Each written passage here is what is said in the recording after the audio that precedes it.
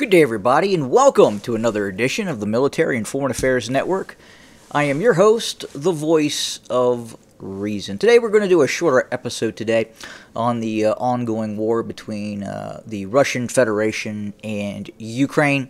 Uh, it is now being reported that the first shipment of less than a half a dozen or so a Leopard uh, 2 uh, main battle tanks have been delivered uh, by Poland uh, to Ukrainian forces. Now, these are the older, uh, for all intents and purposes, the first series of Leopard uh, 2 main battle tanks before they went through a uh, rather significant periods of, of upgrades. Now, be that as it may, it is still a very effective platform. Uh, the uh, 120 millimeter Rheinmetall main gun is the same main gun that is used on the M1A1, the M1A2, and uh, all series of Abrams main battle tanks outside of the uh, the original uh, M1 with the 105 on it.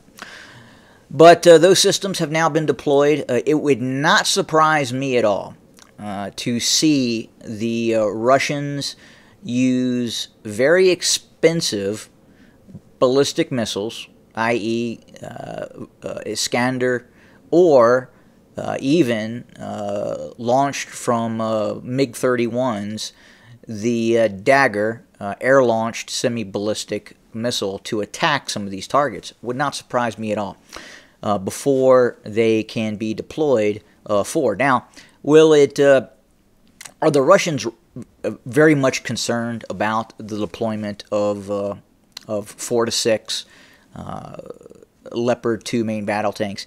Absolutely not.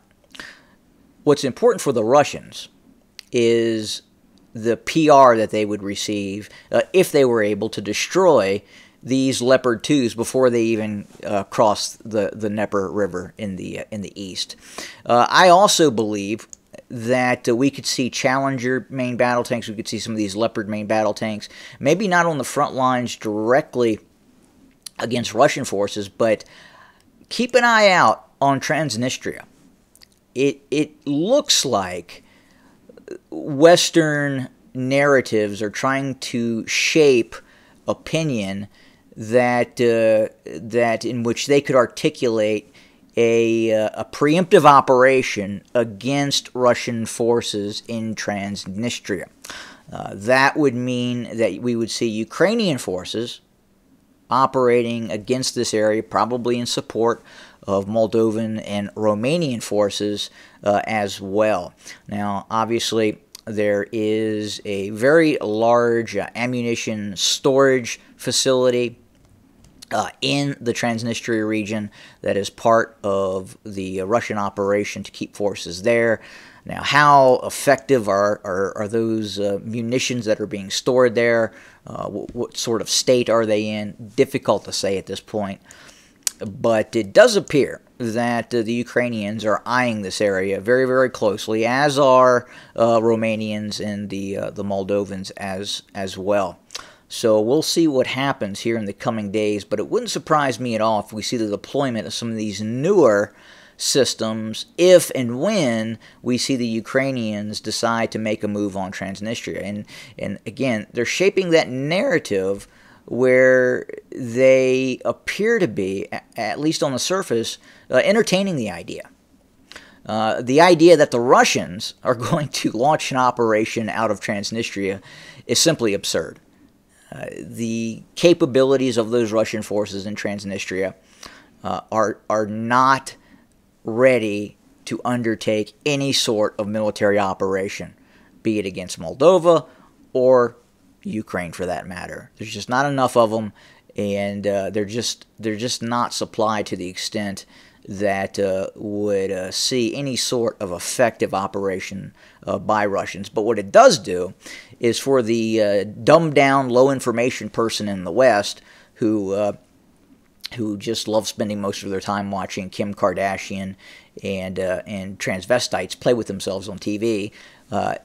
this would obviously merit some sort of operation by the Ukrainians that uh, they could effectively shape and effectively change the narrative that they were c- conducting a preemptive operation. So, anyway, that's what I uh, I believe uh, could happen. Is it going to happen? Difficult to say.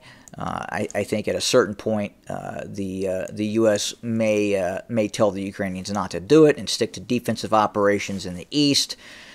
But uh, but we'll see what happens. Uh, again, the fighting continues in the east as well. the Russians continue the pressure campaign as we talked about yesterday, and and things are not going good in Bakhmut. And we anticipate the fall of Bakhmut within the next month. I would say. Could be wrong, could be right on that. We'll, we'll see what happens.